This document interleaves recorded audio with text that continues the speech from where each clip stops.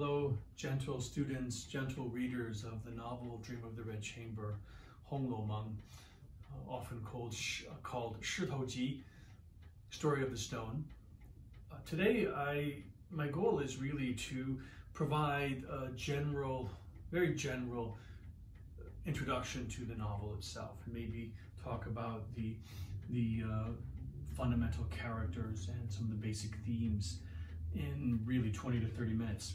But um, again, this lecture series is intended for people who come to the novel more or less for the first time, or people maybe who've read it but who are reading it again or who would like to know more about this novel that so many of us love uh, very much.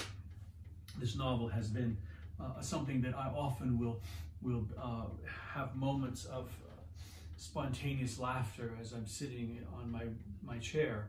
And uh, I wonder sometimes what everyone around me might think as I burst into laughter.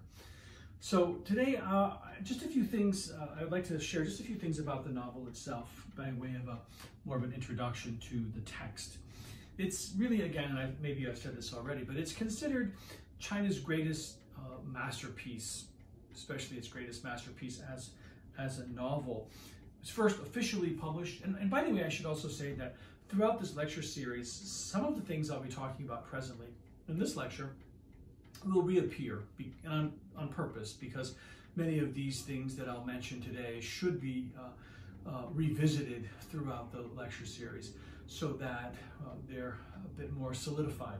But in any case, this, this novel was officially, let me under, underscore officially, uh, officially published in 1791 with prefaces by, by two uh, scholars, officially published nearly three decades, nearly 30 years after Cao Xueqin's death. Uh, and the, the two, the two uh, versions with these prefaces by these two scholars were provided by Cheng Wei Yuan and Gao E. And Cheng Wei, Cheng Wei Yuan lived about 1742 until, I wrote this down, 1818, and Gao E 1740 to about 1815.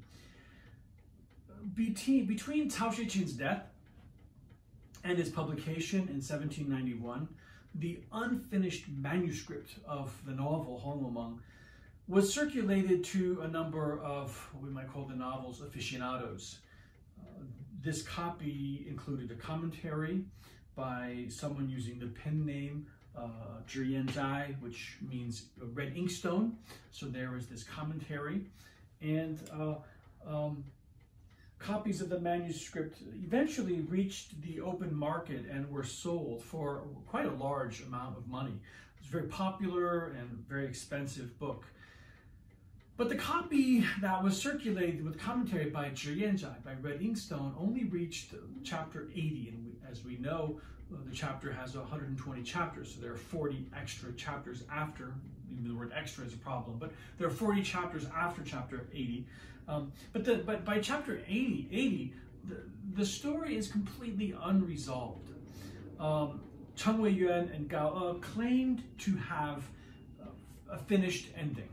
And uh, but their ending was derided by some as uh, dog fur or dog skin, gopi. Sounds a little bit like a, a, a, it's like a homophone for the word dog fart, right? So, so people who looked at the last 40 chapters, some of them derided it as, as, as drivel. So who really wrote the last 40 chapters of Meng is hotly debated. There are people who absolutely insist that Cao Xueqin had written it, uh, and there are people who absolutely insist that he did not write it. So that debate, uh, that debate still continues. There's an academic discipline. I may have said this in another uh, lecture, or will say it again. But there's an ac academic uh, discipline called Hongxuejia, which means redologists, people who study the novel A Dream of the Red Chamber. And uh, again, at, at, my own uh, university where I studied as an undergraduate and as a graduate student, there was an entire section of uh, uh, of the, the East Asian languages and literatures library part uh, that was dedicated to, to Hongxuejia, to, to, in Chinese, dedicated to red studies, to the studies of my cats. If you hear sounds, my cats are, are rather uh, um, excitedly tussling uh, on their cat tower, which is just beyond your view. Anyway, uh, any moment now they could come to my desk here and cause some kind of a, a turbulence uh, in this in this this precincts here. Now, um, one of the things that I think is crucial to thinking about this novel is that no one really can agree about what the novel is about. What are its themes? Is it a love story? Certainly there's that dimension. Is it Bildungsroman? Is it the story of a young man's journey toward uh, enlightenment? Is it a Buddhist, Taoist tale of enlightenment? Uh, is it really a work of uh, what we might call a novel of manners? Is it something uh, that is was written to discuss social observation, uh, to discuss uh, culture? just looking, it was so is it observing social conventions? Um, or is it an allegory about the decay of the, of the Qing dynasty in, in general? But what most uh, scholars agree is that the novel itself functions as largely an autobiography of the novelist, the, of the author Cao Xueqin. That is, Jia Baoyu, the uh, protagonist of the entire work, is essentially um, uh, Cao Xueqin himself. And there are many, many reasons to um, accept that argument. Um, and then some people actually argue that it's a veiled criticism of the Qing court, of the Manchu court itself. It's a specific critique of, of the imperial clan at that time. Well, the story begins in a very interesting way. It begins with, uh, with an account of the attachment between two um, preternatural beings. There is the divine luminescent, the divine luminescent stone in waiting, um, and then there is another being that we call, uh, we translate as crimson pearl flower. Um, so the, the, the divine luminescent stone in waiting, as the text uh, uh, calls him, uh, is the stone uh, in the novel, who's given magical powers by the goddess Nuwa, for the repair of the vault of heaven. Um, that will be discussed uh, in the next lecture, actually, the whole idea of Nuwa, and this mythology. But this, this stone ends up being an extra stone and is not used in the wall by Nuwa.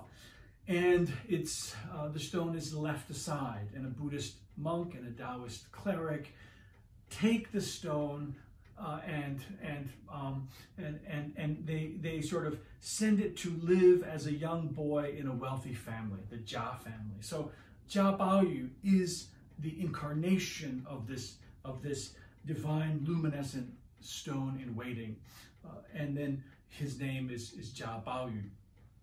Baoyu is born with a jade stone actually in in his mouth with writing on it, a kind of apotropaic or demon, a, a, a, a, saying that scares evil away, that, that keeps demons at bay. But while the stone was in its previous existence, right, when it was in the, the, the, uh, the supernatural precincts, uh, when it was in its previous existence, it was attracted to a very delicate plant growing beside a magic river, Linghe, as it, Linghe, as it's, it's uh, called in, in Chinese. Um, and that, that is, is crimson pearl flower. The stone fancies the crimson pearl flower and waters her every day with sweet dew. Uh, now, absolutely, there is a sexual implication behind this act of, of, of watering the flower with, with dew. Uh, one sees similar references in, in, in poetry that have erotic connotations. Uh, but this fairy girl, this flower, right, she's born in the world as Lin Daiyu. So, in some sense, people like to interpret the novel, many do, as a, a romance, a rather fraught romance between Lin Daiyu, the crimson pearl flower, and Jia Baoyu, the luminescent stone in, in waiting. But in the novel, Lin Daiyu is Baoyu's beautiful cousin, and she's the perfect beauty according to the cult of Qing. Uh, she's frail, uh, she's weakly, uh, rather sick. She moves into the Jia household after her mother dies, and she meets Baoyu in the in the story. They were intimates before becoming human. In the previous in their previous ex- existence. So the purpose of her human life, according to the novel, is literally to repay the stone for its kindness through a quote debt of tears.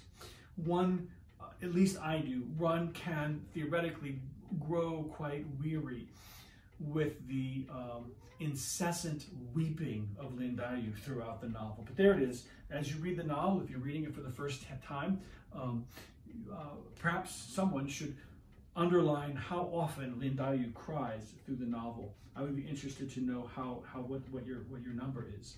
But the novel shifts between worlds of the of, of divine and, and mortal throughout its narrative. One moment will be in the divine precincts, and the next moment will be here in the very the, the, the very sort of day-to-day mundane uh, uh, uh, world of, of humans. The novel uh, often will switch uh, from one realm, to the next through the convention of dreams. Thus, the novel Hong Lou Meng, Hong, red, Lo, chambers, Meng, dream. The novel is set at 2 Duke Street in Beijing, in the capital. There's some interesting um, relationship between Beijing and Nanjing in the novel. Uh, people who carefully read the novel will notice that uh, there is a conflation of them, and some argue that Cao Xueqin is mistakenly uh, in his he, he intends the intends the the family to be in Nanjing, but it's actually in Beijing, and so there are errors in the novel that that um, one can can discern at certain points in terms of where the novel is set. Now, um, the two dukes are connected by a common ancestor. Uh, the Rongguo house, which is uh, Jia Baoyu's home, which is very Confucian, right? The Rongguo house will represent a, a, Confucian sense. The patriarch of that household is Jia Zheng, a Confucian. And then the Ningguo house, which the patriarch of that house is Taoist. So you see a kind of Taoist and Confucian uh, parallel or, or, or dichotomy being produced in these two houses. And they're finally connected together in chapter 17 and 18 uh, when they're when they're the family will build a garden. There is a garden constructed called the Daguan Yuan, the, the uh, prospect garden, as uh, David Hawkes translates it.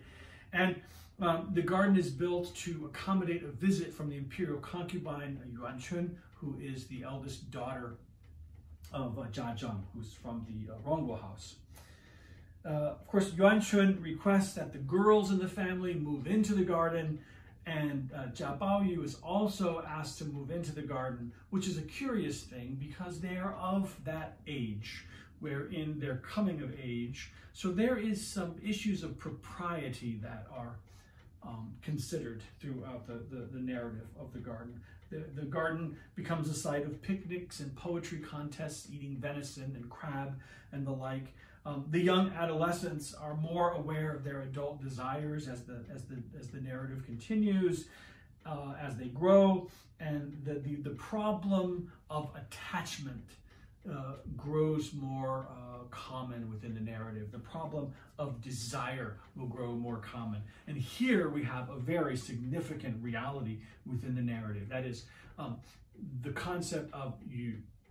And Jia Baoyu uh, is the name Jia Baoyu and the name Lin Daiyu, the two main characters really, um, the last character in their name Yu is Jade.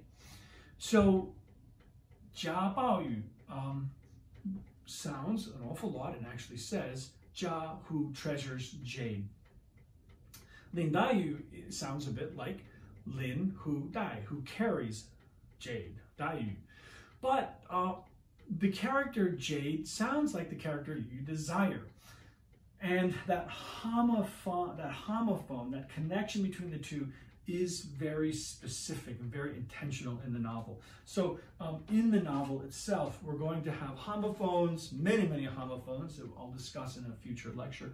But these homophones will uh, quite often conjure the notion of, of desire. Eventually, the relationship between Jia Baoyu and Lin Daiyu is, is complicated by a third person who comes into the, the, the novel, and that is Xue Bao Chai, who is a, another girl. And Bao Chai has a golden locket that is uh, connected to Jia, Baoyu's jade stone that he's born with in his mouth, and that the golden locket Bao Chai and the jade stone Baoyu uh, of Baoyu's will be uh, will will be seen as a, a, pair, and and those two as a pair will also be uh, something of an important dimension within the narrative of the novel.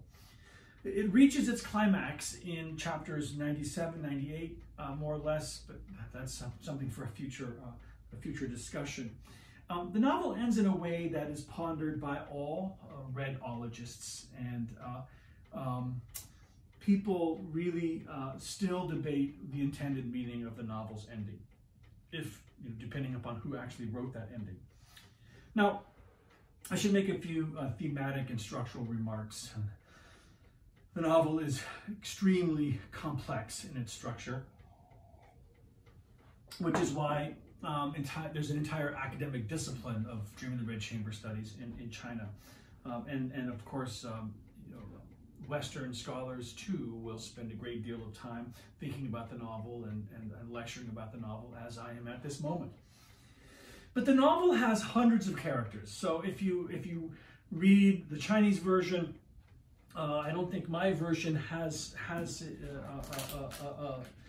uh, uh, it does not have a, a, a, chart in the back with the main characters, but certainly if you read David Hawkes' version, there is uh, a list in the back and a, and, a, and a, family tree where you can see who the characters are in the novel. They're in the novel. There are hundreds and hundreds of characters, and um, in literary jargon, we call this the so-called billiards technique. That is, there are all these characters and as one plays billiards, the billiard balls sort of interact and hit one another at random times or not so random times, or not so random times, I think is a better way to emphasize this in, in the novel. But, but the characters of the novel are, are many and their relationships are complicated and characters will come and go at very significant, uh, significant times.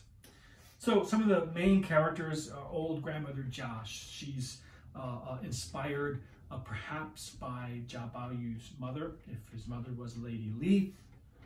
Uh, not Jia Baoyu, I mean Cao Xueqin's mother, if his mother was Lady Li.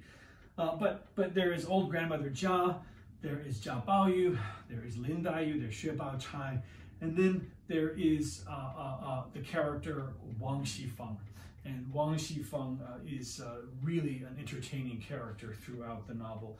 Uh, well-behaved and ill-behaved, brilliant and foolish, clever and, well, always clever actually. In any case, uh, she's connected to the, the color red. Um, she's connected to peppers. She's connected to fire. She's connected to summer. Uh, pay very close attention to uh, to Wang Xifeng uh, through the novel. And the novel is, is, is, quite famous for its rich and detailed descriptions of, of, of Chinese elite life. Uh, there are long descriptions of clothes, of plays, of games, of etiquette, of food, of medicine, of fortune telling, of rituals, uh, long discussions of certain books, stories, uh, and, and uh, drama. So uh, the novel itself you know, one in, in, literary terms, we think in terms of mimesis and diegesis, right? That is mimesis being being the the the the representation of reality. Uh, what makes it mimetic? What makes it seem real? And diegesis, the narration and how is it narrated? Um, well, narration and representation are crucially mixed together throughout uh, uh, the reading of a text such as this.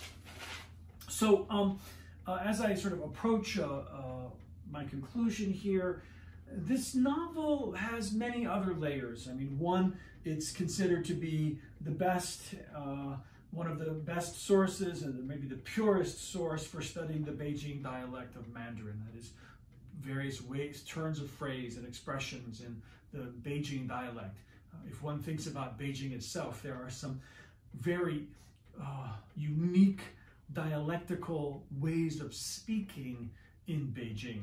The, it's a so-called, the dialect is, some, some people call it R Hua because it has the R sound within it. And you don't say Yi Dian, you say Yi Diar. Or um, yi, uh, um, uh, lots of r in, in the in the dialect. Even 今天 and 明天 in uh, 今天 meaning uh, uh, today, 明天 meaning tomorrow. In Beijing, one would hear uh, 今天 is 今儿,明天 tomorrow is 明儿. So so the dialect of Beijing is something that is very much expressed within Cao Xueqin's novel, but also turns of phrase that are specific to to Beijing. The novel is full of puns and metaphors, which which uh, I shall discuss later. The, the, the color red is not only embedded in the novel's title, but the color red appears throughout the narrative. Uh, it's connected to the metaphor of Hong Chen, Hong, uh, red, Chen meaning dust. Uh, from the Buddhist point of view, red dust is, is a thin, red dust that gets on our clothing and we can't get it off. It's uh, really a metaphor for the illusions of the world, for our desires and, and wants in this world. Once we become lustful, once we become desiring, then we have allowed the red dust to soil us. And it's not hard, it's not easy to uh, get rid of it. It's quite hard to get rid of. So the material world uh, and its, its empty attractions the allurements of the world that stick to us like dust. Home. So reality is an illusion. Uh, reality and illusion uh, uh, are, are constantly conjured and they're constantly indistinguishable through the narrative in Dream of the Red Chamber. So, so the reader must rely on gossip between minor characters for information about what is going on with the major characters. There's gossip reality a step removed becomes a way of accessing what's going on. So the novel be, uh, continues to be read in several ways, and its authorship has, has still is still a hot topic of, of research. During the Qing dynasty, uh, no one had settled for certain on who the author was. I think people knew it was Cao Xueqin, certainly. Um, uh, but identified the features of the novel that demonstrate its its autobiographical relationship with Cao Xueqin, Hu Shi really uh, proved really beyond a doubt that uh, Cao Xueqin is the author of the novel. Um, we still debate about the last uh, 40 chapters. But in the 1950s, Marxists paid attention not so much to the authorship and the meaning of the novel uh, as, uh, as Cao Xueqin intended, but basically paid attention to the novel's attack on China's ancient feudal system. Um, I believe my cat is coming to to pass pass by. But uh, in any case, uh, uh, today in libraries and uh, United States, uh, uh, in, in, in, libraries in the United States and other places, there are large sections of the library collection that discuss this novel. I want to end with just about three minutes of, of or a couple minutes of, of description about what the novel will intellectually engage. Uh, the so-called three teachings, the Sanjiao in, in Chinese, uh, in the Chinese intellectual tradition, the Sanjiao, the three teachings, really are Confucianism, Taoism, and Buddhism. All three of those are represented in the novel. Uh, in the Confucian sense, one sees this dialectic between Li, ritual, and Ren, benevolence. Um, ritual being that that, that, that, that, that system of behavior that mitigates awkwardness in how should we behave, right? To be benevolent. And here's my other cat, right? And, well, I think he's eager to leave.